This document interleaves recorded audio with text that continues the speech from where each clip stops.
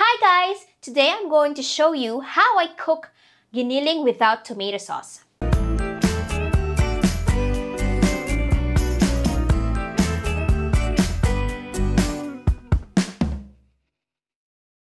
The ingredients are oil, garlic, onion, mixed vegetable, soy sauce, oyster sauce, and 300 grams of ground beef.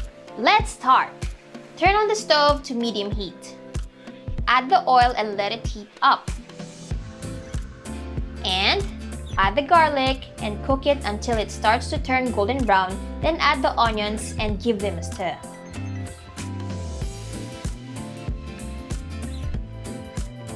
After a minute or two, add the beef and stir it together.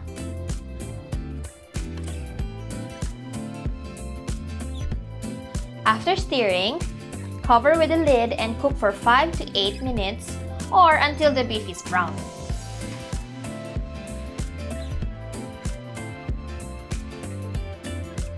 Give it a stir and add the mixed vegetable.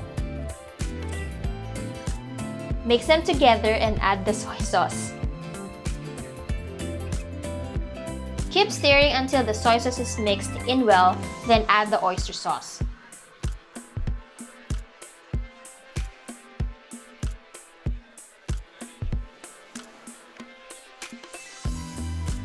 Mix again and wait for the oyster sauce to mix in. This usually takes about 1 to 2 minutes.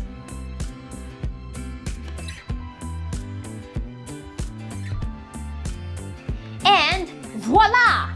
There you go, ladies and gentlemen. Giniling without tomato sauce at your service. Hope you enjoy. See you in my next video. Bye!